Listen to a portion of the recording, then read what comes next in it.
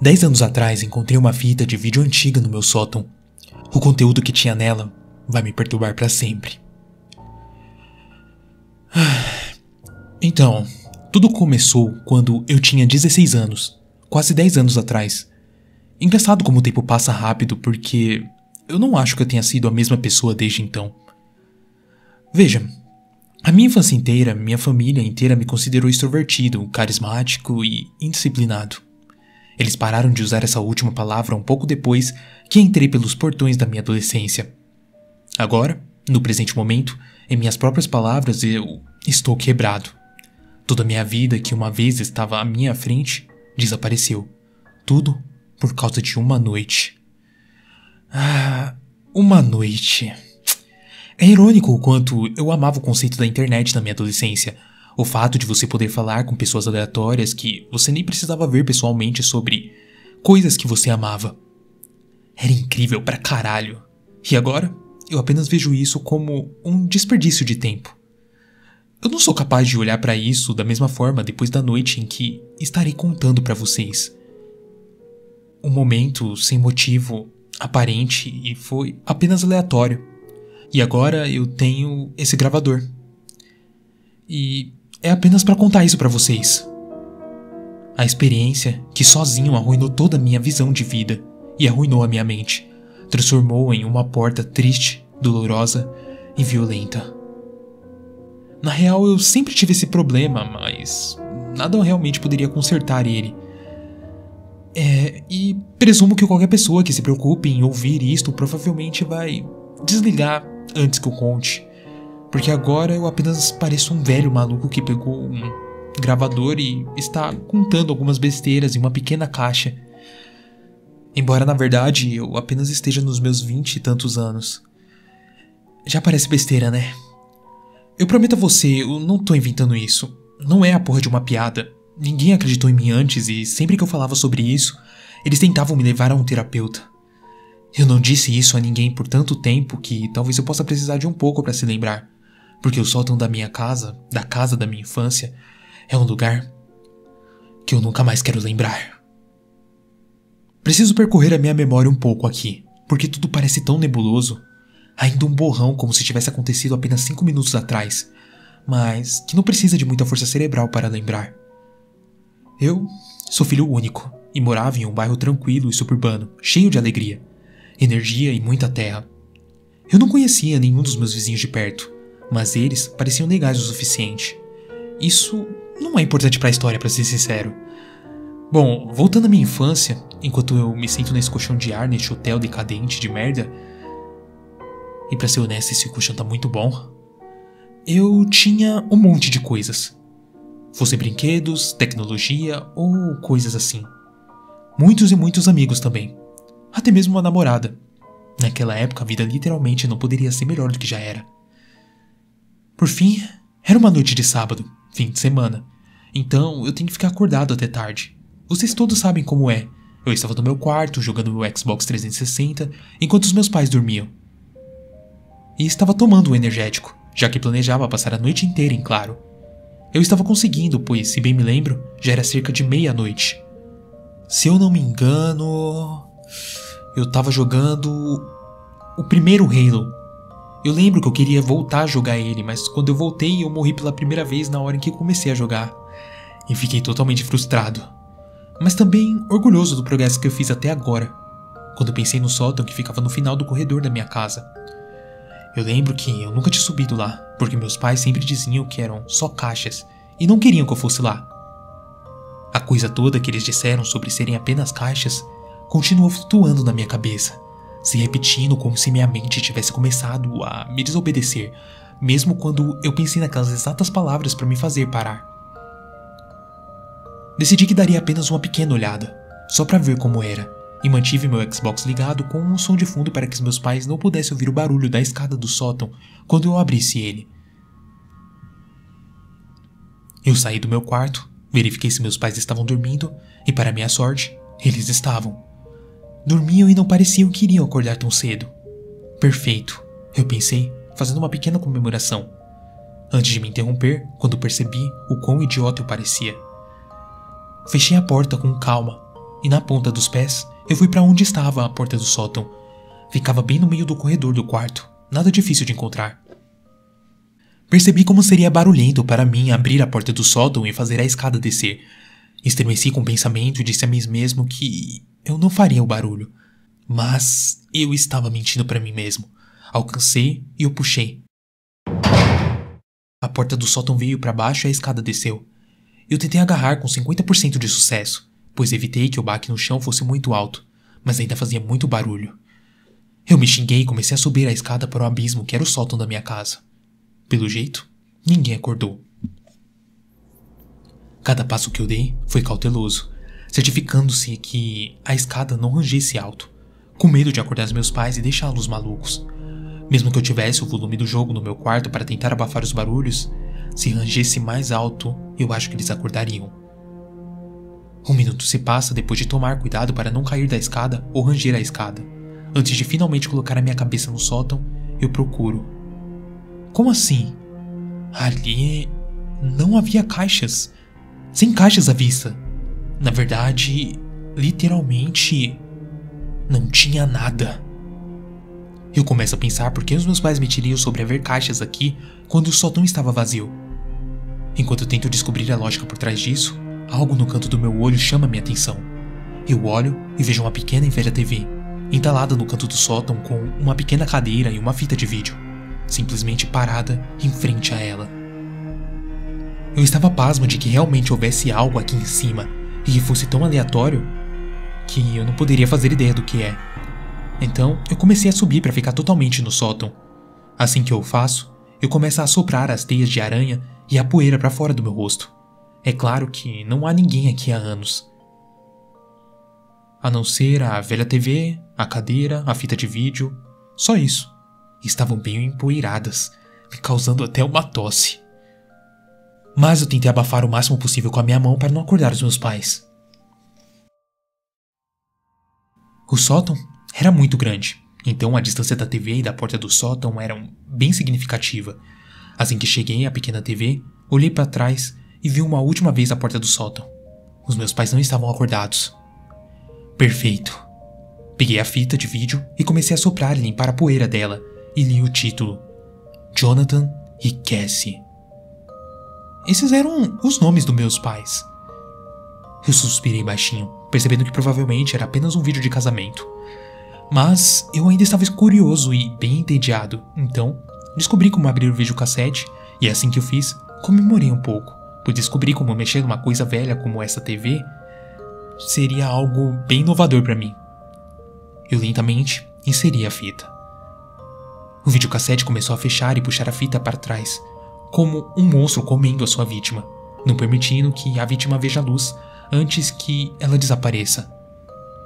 A TV ficou estática por um tempo, e eu comecei a perder a esperança de que alguma coisa tocasse, antes que finalmente o vídeo começou. E a TV ganhou vida. Na tela era uma foto da minha mãe e meu pai de 1995. Aparentemente, depois que eles se casaram, eles estavam em um sofá, na mesma sala da minha casa. Legal. Eu sussurro. Foi muito legal ver fotos antigas dos meus pais. Eles pareciam felizes. Eles estavam sorrindo, extremamente felizes, na verdade. Jovens, selvagens, livres. Após 30 segundos, o vídeo apresentou uma estática repentina e, em seguida, cortou para outra foto. Eles estavam no mesmo sofá, e a data na parte inferior dizia que foi alguns meses depois. Eles ainda estavam sorrindo, ainda pareciam felizes, mas pareciam um pouco mais cansados. O contraste da primeira foto e da segunda foto era um pouco mais escuro. Ainda assim, não parecia errado. Eu deixei-me me relaxar enquanto tentava me sentar na pequena cadeira que também foi fornecida no sótão, mas eu mal cabia nela. Mais uma vez, após 30 segundos, houve outra estática repetida e a foto mudou. Seis meses depois, depois que eu nasci, os meus pais estavam no mesmo sofá, minha mãe me segurando como um bebê em seus braços. Mas os seus sorrisos. Ah, seus sorrisos estavam um pouco enfraquecidos. Eles pareciam mais infelizes, mais deprimidos. Mas ainda não era muito perceptível. O contraste estava mais uma vez um pouco mais escuro. e eu vi que as bolsas estavam se formando sobre seus olhos. Desta vez, uma estática aconteceu após 10 segundos e a foto na tela mudou. Um mês depois. Eu não estava nos braços da minha mãe nesta foto, nem mesmo nos do meu pai, como todas as outras fotos. Eles estavam no mesmo sofá, mas esta foto era um pouco diferente. Era. Eu não sei, ela transmitia incômodo. Meu pai estava ligeiramente afundado no sofá e eu poderia dizer que ele estava tentando sorrir, mas simplesmente não conseguia. As bolsas sobre seus olhos estavam extremamente escuras agora. Minha mãe? Ah, a minha mãe nessa foto estava chorando. Ela tinha lágrimas por todo o rosto e nas roupas que vestia. As olheiras, assim como meu pai, estavam extremamente escuras agora. A sua boca estava aberta como se ela estivesse literalmente berrando. A foto estava terrivelmente escura. A foto mudou após 5 segundos, sem estática dessa vez. E os meus pais nessa foto estavam ainda piores. Essa foto foi apenas três dias depois. Meu pai estava na mesma posição da última foto, mas algo estava vazando da sua cabeça. Mas eu não poderia dizer o que era porque a foto estava escura pra caralho e os seus olhos estavam fechados. Minha mãe, até certo ponto, também estava caída de novo no sofá, segurando a barriga, chorando de novo e os olhos abertos, olhando diretamente para a câmera. Eu estremeci. Que porra eram essas fotos? Eu esperei a próxima foto surgir de repente, me preparando para outra imagem perturbadora. Eu poderia ter desligado, mas você sabe o que dizem. A curiosidade matou o gato. Porém, não foi esse caso. Aqui, a curiosidade matou a minha infância. Demorou um minuto e meio para a estática acontecer e a próxima foto aparecer. E meu Deus, meu Deus, meu Deus, eu gostaria de ter desligado. Nesta última foto, a data era um dia depois. A foto não era escura como as outras fotos, com uma claridade de onde eu pude ver tudo. Eu vi meus pais no mesmo sofá em que estiveram em todas as fotos, o sofá da minha sala. Ambos estavam mortos.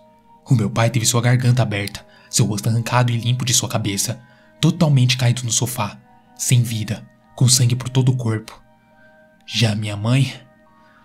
Minha mãe teve todos os membros cortados do seu corpo, todas as partes do corpo dela espalhada pelo sofá, e quando eu vi sua cabeça, seu rosto, também foi arrancado dela. O sofá estava totalmente encharcado de sangue. Ver os órgãos atrás de seu rosto me fez engasgar. Eu comecei a entrar em pânico, eu comecei a choramingar e tudo que eu conseguia pensar era: Que porra é essa? Não fazia sentido nenhum. Como meus pais podem estar mortos? Eles cuidam de mim durante toda a minha vida. Essa fita devia ter sido feita no Halloween para algum tipo de pegadinha. Não, não, não pode ser real. O que está fazendo aqui? Eu ouço a voz da minha mãe atrás de mim. Eu pulo e olho para trás e vejo minha mãe e meu pai bem atrás de mim, um olhar zangado em seu rosto. Eu nem penso impulsivamente e grito. Eu, eu sinto muito, eu só estava. Nós dissemos para você não. O meu pai começou a falar. Eu comecei a ouvir seu estalo de língua quando vi seu rosto se contorcer. Que porra é essa? Ele terminou sua frase enquanto fazia isso.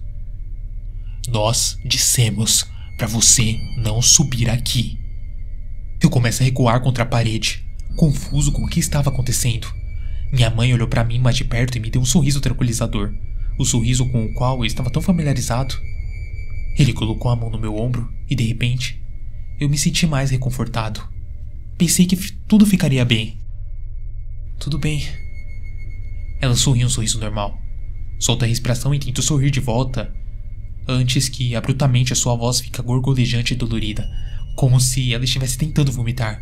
Seus braços ficando imensamente rígidos e ela diz: Não estamos com raiva de você, filho. Antes que eu pudesse perguntar o que aconteceu com a sua voz, ela levou a mão ao rosto, e eu vejo meu pai parar de se contorcer e fazer a mesma coisa. Em seguida, vejo meus pais começar a arrancar o rosto da cabeça, como se estivessem rasgando uma folha de papel. Eu vi o que estava por trás dos seus rostos. Essas coisas eles não eram meus pais. Tudo que vi antes de gritar foi um rosto como um alien, pálido e desorientado enquanto eles tiravam o rosto dos meus pais de sua cabeça. Eles começaram a gritar alto que quase me fez ficar surdo. Quando eu me afastei deles e comecei a gritar enquanto eu literalmente pulei do sótão, de volta para baixo. Eu comecei a correr para a sala de estar quando eu pude ouvir o som de rastejar e rosnar atrás de mim. Parecia que estava nas paredes, e era rápido pra caralho, e eu sabia que não iria escapar com segurança. Eu chego na sala de estar e tropeço com o rosto no chão de madeira duro. Eu resmungo e rapidamente levanto o meu rosto para cima e vejo meus pais. Meus pais verdadeiros na cesta e última foto daquele videotape. Todos os membros da minha mãe espalhados pelo sofá, a garganta do meu pai cortada e o seu rosto faltando. Eu suspirei e olhei para trás e vi aquelas criaturas, ainda com roupas parecidas com as dos meus pais, olhando para mim. Seus rostos eram tão terríveis agora que eles tiraram de fora os rostos dos meus pais. Acho que literalmente eu me caguei de novo. Tem sido muito divertido brincar de seu pai. A coisa que fingiu ser meu pai grasnou, quase lutando para deixar essas palavras saírem. Os dois então começaram a se contorcer violentamente, fazendo sons horríveis de vômito, antes de eventualmente mudar de forma do corpo dos meus pais para seus corpos normais. Eles eram anormalmente altos, seus ossos desorientados, garras grandes e extremamente magros. Eu fiquei paralisado de medo, incapaz de me mover. Agora, você é o próximo. O mesmo Sibila. Eu vejo seus sorrisos maliciosos se formarem em seu rosto horrível, enquanto eu cobri meu rosto com meus braços. Eu fechei meus olhos e gritei, me preparando para que a mesma coisa acontecesse comigo, assim como eles fizeram com os meus pais. Eu grito pelo que parecia uma eternidade até ouvir batidas na porta da frente. Foi um dos meus vizinhos? Eles vieram me salvar? Eu podia ouvi-los gritando algo como: O que está acontecendo aí? Mas eu não tinha muita certeza porque estava sendo abafado pelos meus gritos. Eu abri meus olhos ligeiramente e vi que as criaturas não estavam mais lá. Os corpos dos meus pais não estavam mais no sofá e meu vizinho que estava na porta batia com força nela. Eu parei de gritar e abaixei os braços, as lágrimas rolando pelo meu rosto, a confusão e o medo ainda correndo pela minha mente. O que fiz a seguir é algo de que ainda me arrependo, porque poderia facilmente ter lidado com isso de uma maneira diferente. Em vez de atender a porta e tentar contar ao meu vizinho de alguma forma sobre o que aconteceu, ou ligar para a polícia ou qualquer coisa, eu. Eu abri a porta de trás da minha casa e comecei a fugir me escondendo atrás das coisas para evitar ser visto. Minha lógica na época era que as pessoas pensariam que eu era louco por toda essa coisa de TV. Os corpos dos meus pais não estavam mais no sofá. Eu nem sabia para onde aquelas criaturas tinham ido. Ou onde os meus pais estavam. Eu só não queria mais ter que lidar com pessoas não acreditando em mim. Eu nunca mais vi meus amigos ou a minha namorada novamente. Eu acabei por ser adotado por uma família muito boa, um mês depois e depois ser colocado em um sistema de assistência social. Eu não me lembro exatamente como eu fui colocado em um orfanato. Será que os donos me viram andando na rua cansado e sabiam que eu não tinha família? Bom, eu tentarei mandar uma mensagem aos interessados em saber a resposta caso me lembrar. Isso se eu não quebrar esse gravador depois dessa gravação.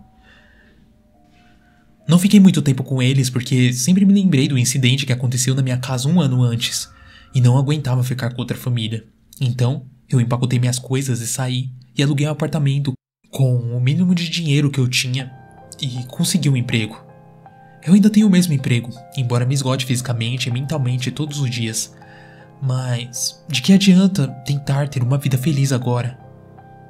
Eu tenho bebido sem parar nos últimos 10 anos, contrabandeando garrafas de bebidas alcoólicas, mesmo quando morava com a minha família adotiva e antes de completar 21 anos.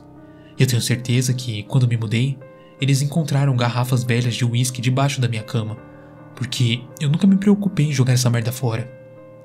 O resto da minha família ouviu sobre o que aconteceu, sobre como eu fugi, mas não sobre meus pais. Acho que ninguém descobriu. Sério, eles só sabem que eu desapareci e meus pais desapareceram sem deixar rastros. Mas eu sei a realidade do que aconteceu. Eu realmente sei? Ou foi apenas uma alucinação? Eu não sei, eu tava louco. Eu sou louco. Eu literalmente não faço ideia. Passei anos sendo expulso de apartamentos por ser muito alto quando grito em plenos pulmões depois de beber garrafas e mais garrafas de cerveja, tentando tirar aquelas memórias da minha cabeça. ou por ser muito bagunçado e descer sempre as escadas para o saguão bêbado. Nessas merdas de complexo de apartamento. É por isso que agora estou no pior de todos eles, no pior complexo de apartamento que já estive. Paredes sendo destruídas, um fedor horrível que cheira a morte e insetos por todos os lados nos corredores. Mas ei, eles não dão a mínima para o que eu faço aqui. Então, por que eu deveria me importar? Olhando para trás agora, eu acho que entendo a realidade deste mundo. A realidade daquelas coisas que tiram a vida dos meus pais quando eu era apenas um bebê. Aterrorizando por meses antes de finalmente acabar com eles. O horror afunda cada vez mais, e me lembro que eu fui criado pelas criaturas por 16 anos e ainda não entendo qual era sua motivação, o que eles estavam esperando e por que esperariam 16 anos para tentar atacar e se mostrarem que o que eles realmente eram. Eu não quero parecer louco, mas. O, o que você quer que eu diga? Eles são o que se escondem na noite. Eles rastejam, eles matam, eles quebram, eles estragam tudo. Se algum de vocês por algum motivo não quiser acreditar em mim, vá em frente. Não me importa. Eu nem sei se isso vai parar em algum lugar. Eu tô vendo que quando eu terminar essa gravação eu só vou jogar esse gravador longe e nem sei se alguém vai encontrar. Por fim, me desculpe se esse não é o final feliz que todos vocês queriam. Me desculpe por não ter me tornado um herói e vingado os meus pais. Saído para tentar encontrar essa porra de criatura que arruinaram a minha maldita vida. E confie, eu quero ainda arrancar a cabeça deles e mantê-los como uma lembrança penduradas na minha parede. Rir do cadáver deles por tirarem os meus pais de mim, por fingir ser eles. Parando para pensar, eu nem sei como era a personalidade real dos meus pais. Ou talvez eles acertaram em cheio, porque pelo que eu vi na minha infância, o resto da minha família já é muito normal com eles. O que me faz pensar, há quanto tempo essas criaturas estudaram e observaram os meus pais? Por que eles os escolheram? Inferno, qual era o sentido das fotos? Eu tô tentando beber tudo isso, mas ainda tenho eu tô tentando digerir tudo isso, mas ainda tem um peso enorme sobre meus ombros. Um presságio sobre minha cabeça de que não consigo me livrar. Não importa quantas doses de vodka ou whisky eu tome. Não importa quão bêbado eu fico. Agora que penso sobre isso, talvez eu possa fazer algo a respeito. Nos últimos dois meses eu tenho ouvido rastros silenciosos na parede do meu apartamento. E sussurros de outros cômodos do meu apartamento também. Esses sussurros vêm no meio da noite. Eu vejo sombras altas e magras no meu armário ou corredor. Talvez, apenas talvez, aquelas criaturas descobriram onde eu moro e vieram terminar o trabalho comigo. Talvez seja o melhor. Embora eu realmente não queira ver seus rostos horríveis e nojentos nunca mais. Por fim, se me dão licença, eu vou subir no meu colchão de ar, assistir um filme de Natal com uma garrafa de tequila nas mãos e continuar a ouvir aqueles grotescos sons vindos do meu quarto e deixar as criaturas saberem que eu estou ciente da sua presença e deixar o inevitável acontecer comigo. Obrigado. Obrigado por se permitir ouvir os meus eventos do meu passado. Eu sou muito grato por isso. E espero que nunca aconteça com você. Bom, é só isso que eu tenho que deixar gravado.